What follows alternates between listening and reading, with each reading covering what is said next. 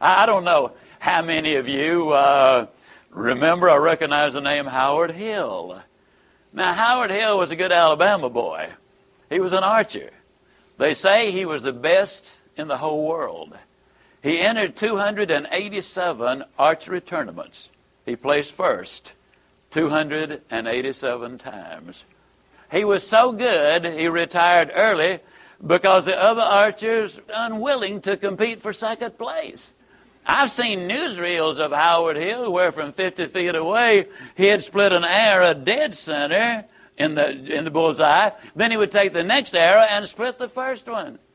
He killed a Cape buffalo with a bow and arrow, the most difficult game animal alive to bring down. He killed a Bengal tiger. He killed a 15 foot shark under 18 feet of water.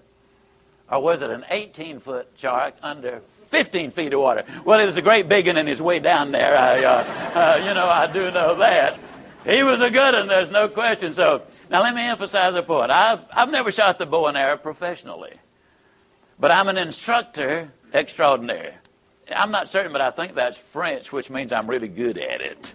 Uh, as a matter of fact, let me tell you just how good I am as a teacher. If I could spend 30 minutes with any man or woman who will ever view this, providing your eyesight is good and your health is normal, at the end of 30 minutes, I would have you hitting the bullseye more consistently than Howard Hill could hit it on the best day he ever had.